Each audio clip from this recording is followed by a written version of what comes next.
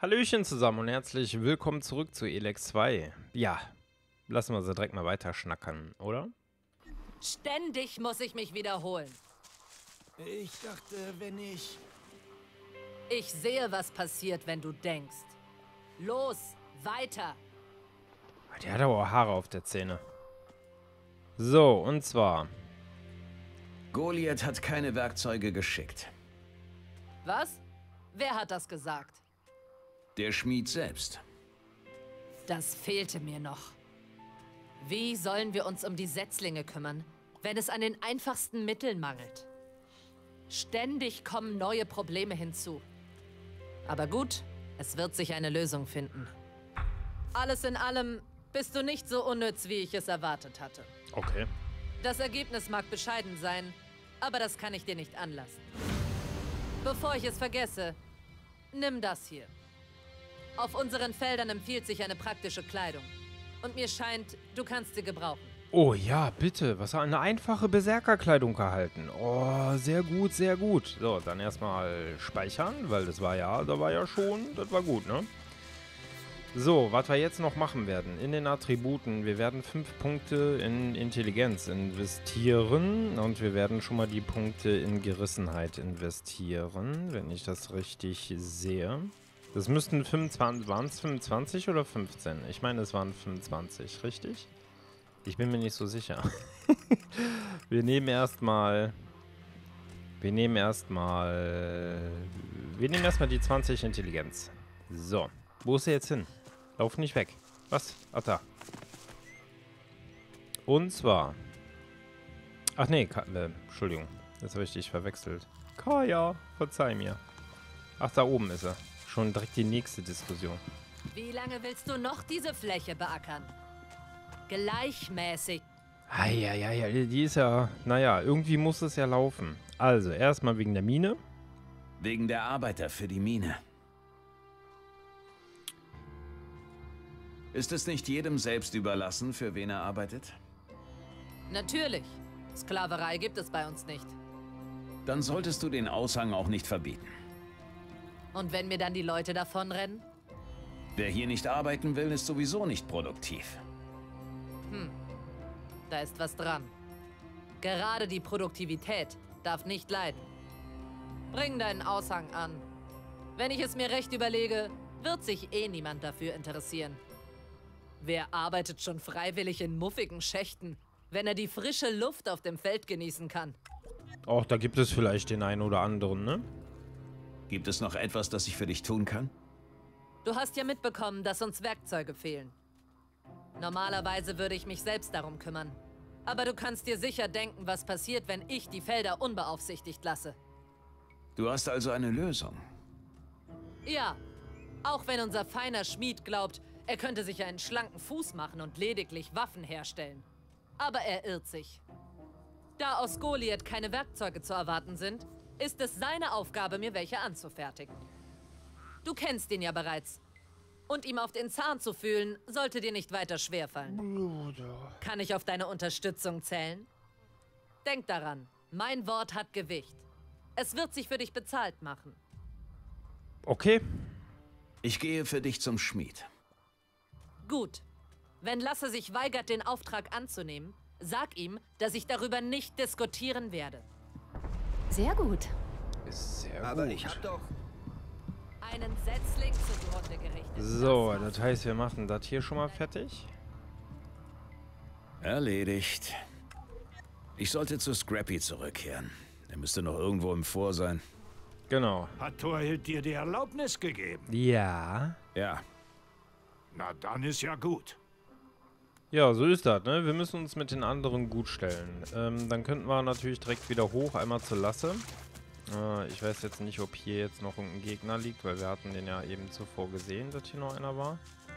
Als wir die Brücke hochgelaufen sind. Warum sind denn vor allen Dingen so viele Raptoren halt hier, ne? Da liegt auch direkt noch ein Monsterchen. Aber gut, da sind halt die reisenden Händler, ne? Ich meine, ich finde es ja wiederum sehr angenehm, dass die halt die Straßen frei halten. Ich meine, gut, die ein oder anderen Erfahrungspunkte, halb so wild. Halb so wild.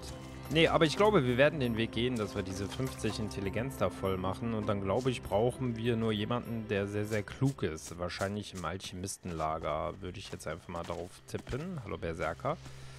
Ähm, mal eben kurz im Inventar. Oder halt bei Kleriker Alps irgendetwas, was technisch versiert ist. Äh, ich wollte mal gucken wegen der 12 Rüstung gibt uns die einfache Berserkerkleidung. Cool. Ja, die Brille werden wir eh nie ausziehen. Niemals. So. Ja, so beginnt es. Ne? Wir haben ja schon gesehen, bis 30 Rüstung konnten wir eine Rüstung kaufen bei den Gemischwarenhändlern. Aber dafür brauchen wir deutlich mehr... Deutlich mehr. Eine Stange Zigaretten, sehr gut. Reißzahn. Eine besondere Armbrust. Ach du Jemine. Auch sehr schön. Ähm, braucht man natürlich ähm, das Elex dazu, ne? Ähm, hm, hm, hm, Reißzahn benötigt. Was? So stark? Oh. Der Bolzen reißt schreckliche Wunden. Einfach plus 5 Stärke bräuchten wir dazu. Da könnten wir folgendes machen. Wir haben doch hier... Wo ist das denn?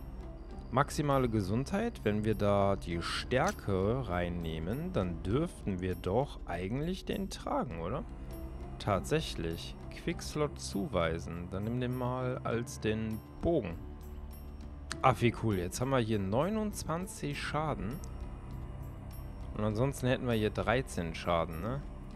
Ja, das finde ich ja schon... Das finde ich gut. Das finde ich... Das finde ich richtig gut hier. Oha. Hat aber auch ein hohes Level. Also auch wenn es jetzt des Nächtens wird, wir werden dennoch eben fix hochlaufen zum Lasse, werden uns mit dem unterhalten. Ah, mit Scrappy könnten wir auch mal eben kurz reden, bevor der jetzt hier abhaut. Scrappy! Ich habe die Aushänge angebracht. Sauber, Mignon. Hier, das ist für dich. War's echt eine Riesenhilfe. Wenn du jetzt noch die Gasmasken auftreiben kannst, sollten wir wieder in der Mine arbeiten können. Das ist dann auch wirklich das Letzte, was ich von dir brauche. Versprochen. Okay, ja gut. Bring mir was bei. Sicher, sicher.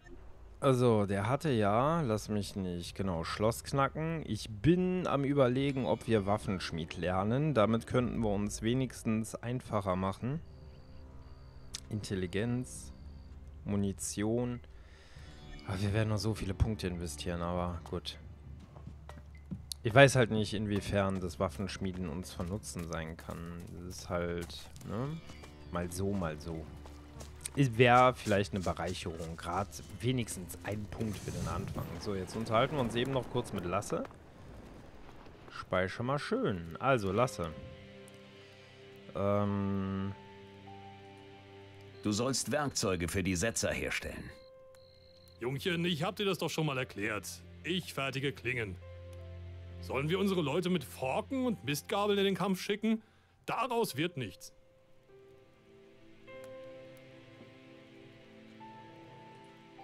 Ich kehre nicht mit leeren Händen zurück. Hör mal, das ist nicht so einfach, wie du dir das vorstellst. Was sie da von mir verlangt, braucht Zeit. Und vom Eisen fange ich erst gar nicht an. Hab weder das eine noch das andere. Wie viel Zeit und wie viel Eisen benötigst du für die Werkzeuge? Du lässt nicht locker, was? Na schön. Bring mir 25 Brocken Eisenerz und ich schau mal, was sich machen lässt. Vielleicht kann ich den Auftrag ja dazwischen schieben. Mehr als drei Tage stehe ich dafür aber nicht an der Schmiede. Okay, Eisen für die Werkzeuge. Ähm, sag mir erstmal, wo wir das herbekommen. Wahrscheinlich aus der Mine, ne? Aber wir haben es schon dabei. Seht ihr, wie das rumst? Da knallt doch irgendjemand mit einem Granatwerfer rum. Woher bekomme ich das Eisenerz? Frag mal den alten Scrappy.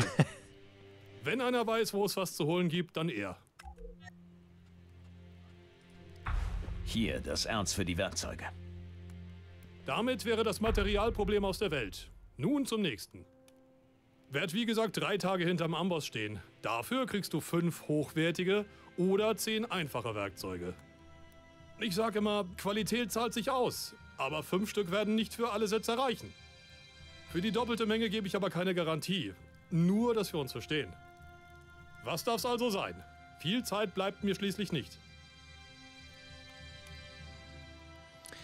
Das ist natürlich super, ne? Ne, wenn, dann nehmen wir 10 einfache Werkzeuge, oder? Da, weil, was sollen die anderen Setzer denn machen? Oh, das ist jetzt schwer, ne? Dafür halten die aber länger und die anderen... Äh, ah, mm. Stell fünf hochwertige Werkzeuge her. Gut, du kannst Torhild sagen, sie kriegt ihren Willen. Das nächste Bier geht auf ihren Deckel. Werd ihr die Dinger selber vor die Tür karren. Musst also deswegen nicht nochmal wiederkommen. Na gut, dann hoffe ich mal, dass das so passt. Hm? Also, nochmal zurück. Sie hatte schon gesagt, wir müssen ein bisschen laufen, aber es ist ja gar kein großes Problem. Ist ja, ist ja schon eine ziemlich geniale Welt. Also das Feeling ist in Elex schon immer so gewesen. Ich kann es nur öfter sagen, es ist ein unglaublich schönes RPG. Es ist einfach ein Fest. Gerade für, äh, wie, wie so all die Sache jetzt mal alt Eingesessene wie mich. Ich meine, es gibt auch viele junge Leute, die das noch mögen. Aber wer mit Gothic halt groß geworden ist, das ist, ist schon einfach schön. So, dann lass mal gucken, wo ist sie denn? Sie ist nicht auf den Feldern. Ich glaube, das mit dem Butch haben wir uns echt verzettelt, ne? Zumindest stelle ich mir das jetzt mal vor. Wo seid ihr denn jetzt hin? Habt ihr ja alle Pause oder wie? Da haben wir noch ein paar Wachen. Na, na, na, na, na, na, na. Kann ja auch sein, dass sie hier hinten drin ist, oder? Ah, sie steht da. Das ist doch gut. Ich hoffe, dass das mit den 5 okay war. Lasse fertigt dir die Werkzeuge an. Hat er Probleme gemacht? Er wird in Zukunft wohl auf deinen Namen anschreiben lassen. Typisch. Sonst noch was? Ich musste mich entscheiden, wie viele Werkzeuge er herstellen soll. Dieser Ochse soll einfach seine Arbeit machen. Aber gut, ich kann mir jetzt sowieso nicht den Kopf darüber zerbrechen. Ich hatte ein paar Unkosten. Nee. Was ist los? Mir laufen die Arbeiter davon. Während ich versuche, ihre Fehler auszubügeln, läuten sie den Feierabend ein. Du hast sie einfach ziehen lassen? Wo denkst du hin? Ich war für einen Moment abgelenkt. Den hat die Bande genutzt und sich aus dem Staub gemacht. Gerade jetzt, wo die Setzlinge die meiste Aufmerksamkeit brauchen. Du musst sie zurückholen. Keine Diskussion. What? Ich kann das nicht übernehmen. Ich muss aufs Feld und dafür sorgen, dass uns die Setzlinge nicht eingehen. Wo könnten deine Arbeiter stecken? Wenn ich das nur wüsste. Weit können sie eigentlich nicht sein. Ich tippe auf das vor. Fressen und saufen. Nach mehr steht ihnen nicht der Sinn. Ähm, ja. Okay, okay. Mal eben ins Log. Wo sind sie denn? Wo sind sie denn? Ähm, Gas in der Mine, Gasmasken. Genau, fünf Gasmasken sollen wir besorgen. Das heißt, wir könnten noch vier Stück kaufen. Äh, unfähige Arbeiter. Bitte auf der Karte markieren. Ich bitte drum. Und dann, ja, müssen wir die halt irgendwie, ja, überreden wahrscheinlich oder denen Geld geben, ne? Dass die dann damit anfangen. Das Schöne ist aber wiederum, wenn die gerade alle nicht da sind. Wir können ja mal eben schon mal speichern. Was? Hier ist ein Setzer tot? Oh. Eine beschädigte Schlachtenklinge. Oh, das ist ja hier. Salat, jawohl. Ja, schön hier. Gegen was habt ihr denn gekämpft? Ein Hornwolf. Okay. Ach, herrlich. Dann gucken wir uns doch erstmal hier in aller Ruhe noch um, oder? Oh nein. Mann, ey, diese dummen Wasserpflanzen. Torhild, die alte Schnepfe, hat mich heute vom Feld geschmissen. Nur weil ich einen ihrer ach so kostbaren Kugelpflanzen-Herz-Scheißdinger mit Unkraut verwechselt und rausgerissen habe. Woher soll ich... Waren für das Vor. Ja, weil es in den letzten Wochen immer wieder Probleme gab. Erstens, die Kisten werden vor dem Abtransport immer ganz befüllt. Wie ich erwische schon jemanden, der sich mit einer halbvollen Kiste auf den Weg macht. Die Kisten werden nur mit frischen, nicht mit verdorbenen Waren befüllt. Die Waren bleiben unangetastet. Jeder, der sich, ähm, ach so, jeder hat sich daran zu halten. Eure Ration bekommt ihr ähm, vor. Wer mehr will, kann sich bei den Händlern auf eigene Kosten eindecken. Torhild, ja, die ist halt fies, ne? Die ist fies. Den Unterschied denn bitte kennen? Pflanzen sind Pflanzen, grün und dumm. Ich mochte es hier um einiges lieber, als alles noch Wüste und Steine war. Kein Viehzeug, das sich in Büschen versteckt hat. Und keine verdammten Berserker, die einem herumkommandieren, als wäre man ein Niemand. Ich bin William, verfluchte Scheiße. Und jetzt befiehlt mich hier so eine Berserker-Tante herum. Tja, und jetzt soll ich mich bei Scrappy melden. Geh zu Scrappy Schrott sammeln, da kannst du weniger falsch machen. Blöde Kuh. Naja. Wer weiß, was passiert, wenn ich mich nicht um die Bastion kümmern würde. Tja, wer weiß, wer weiß. Ähm, da hinten sind auch noch ein paar Ekelviecher, sehe ich gerade. Setzerin tot? Sag mal, was ist denn hier los? Haben die hier jetzt alle gekämpft gegen die Viecher und sind dabei draufgegangen? Oder wie soll ich das verstehen? Ich möchte jetzt auch ungern in der Nacht hier kämpfen. Aber anscheinend äh, gab es hier ein paar kleine Probleme mit dem Hornwolf. Na gut. Das heißt, wir müssen die natürlich jetzt erstmal suchen. Die sind, jetzt muss ich mir eben gucken, wo sind sie denn hin? Ja, die sind oben, ne? Die saufen sich bestimmt ein. Und dann legen wir uns vielleicht dann auch eben einmal schlafen. Ich laufe auch gerne zu Fuß, einfach um die Wege kennenzulernen. Das mit dem Hin- und Her teleportieren, das kommt später im Late Game, würde ich sagen. Ja, weil wir hatten ja direkt den Teleporter, wir hätten ihn jetzt auch nutzen können. Wie gesagt, ich kann mich jetzt hier alleine natürlich ein bisschen umgucken. Wir müssen uns reinschleichen. Ich versuche dann natürlich alles mitgehen zu lassen, so gut wie es geht. Das wird nicht immer möglich sein. Aber ja, ich denke mal, da kommen wir mit einigen Waffen dann am Ende raus. Ne? Das ist ja immer das Interessante. Äh, hatten wir jetzt sonst irgendetwas, außer dass wir die Gasmasken gleich kaufen bei unserem Freund, der uns eh ja hier verschwinden wollte? Ich meine nicht, der hat sich ja auch schon hingelegt, ne? Und da könnten wir hier auch noch an den Stand dran gehen. Ich will mal eben gucken, was hat er denn? Der hat nämlich selbst hier noch eine Gasmaske. Guck mal, sogar zwei Stück, drei, vier. Wir müssten gar keine kaufen. Das ist das nämlich. Hier ist auch noch eine Gasmaske. Der Ivan. Ja, ja, ja, ja, ja.